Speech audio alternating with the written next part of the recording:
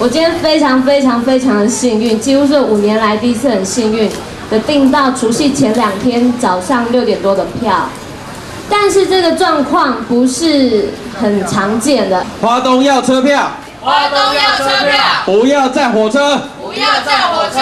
花东要车票，花东要车票，不要站火车。不要站火车。而且今天早上就是 Facebook 一堆人在预告说他要抢哪个班次的票，然后或是他抢不抢得到，结果都是靠别人抢到，刚好有人进去系统了，我们才有办法订到票。那我今天是非常幸运，我才订得到票，不然往年我从大一到现在，我每年几乎都是站着回家。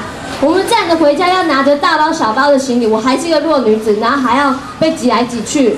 然后现在不收站票，那我难不成我要走苏花公路走回家吗？我又没有办法开车，我也没有车，而且有车阶级的通常都是成年人。我们学子该怎么办？我们外乡的游子该怎么办？大部分的第一首选都是铁路，我们非常的依赖台铁，可是台铁却从来没有正视北回线的运量的问题。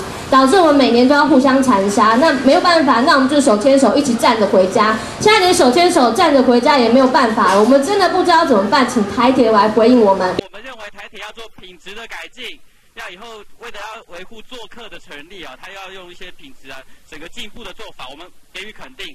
过去它也增加一些票，我们给予肯定，但是现况是还不够，现况是还不够火车票。所以我们希望台铁可以做一些具体的改善呢，并且做出一些回应啊。从二零零八年到当初的书化高到书化改的争议，其实我们不断的在要求说，呃，交通部跟台铁它必须要提升，呃，就是我们整个东部干线的本呃运能跟运量。对，所以我们二零零八年呢，其实已经要求了单次呃单日单次它必须要有单项必须要有一万五千个以上的座位。那时候台铁有没有做到？其实是有的，他们其实是有把运能跟运量提升了，可见得其实台湾的铁呃台铁的那个东部干线，其实它是有能量可以把我们的东部的这个运能跟运量提升的。之前好像两三年前有一个新闻说，旅行社可以提早十分钟先订票。对，那那他们当然是他们都是专业的，然后又都是订大批的票。那当然我们进去就没有什么票可以选，真的要非常幸运的人才有办法订得到票。就是他如果今年就取消了站票，应该就没有办法回家吧？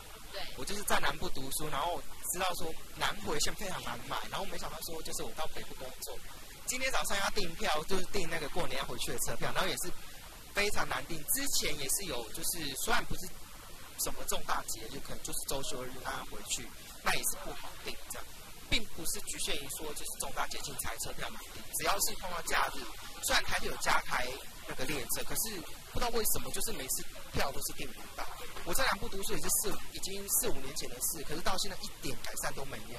如果他今天这样取消站票的话，我们可能就是会很多人就很少回去。像现在有站票，我们就已经像在外地的这些异乡学子啊，想回去看父母亲或者想回乡，其实都有时候买不到票，然后就会想说我们到底还要不要回去？那如果他今天再取消的话，那我觉得更少人会回想去。对。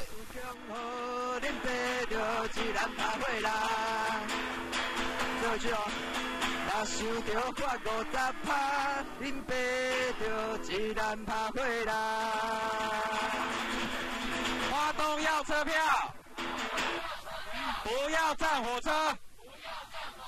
花东要车票，不要站火车。